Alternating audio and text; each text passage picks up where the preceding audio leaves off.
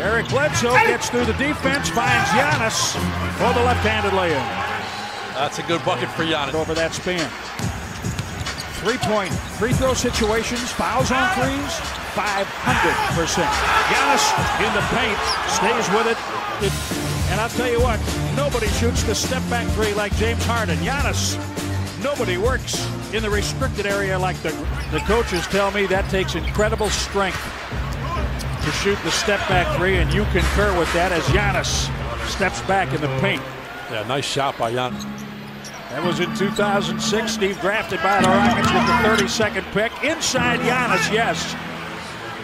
Boy, Harden is such an outlier because his team is winning and he's shooting it himself so much. Giannis attacks the rim. Score twos and give up threes.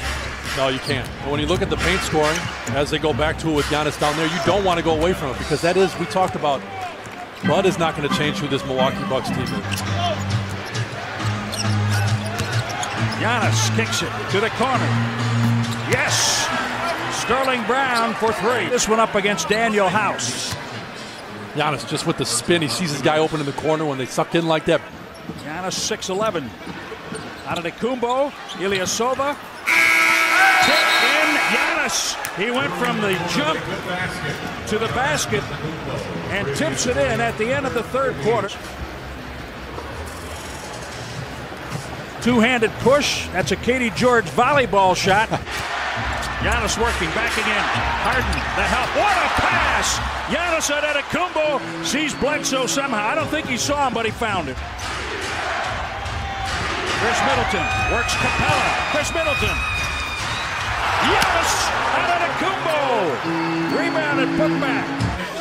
And uh, you see Middleton with the matchup he wants. Capela on the outside, but Giannis look, it's how he impacts the game.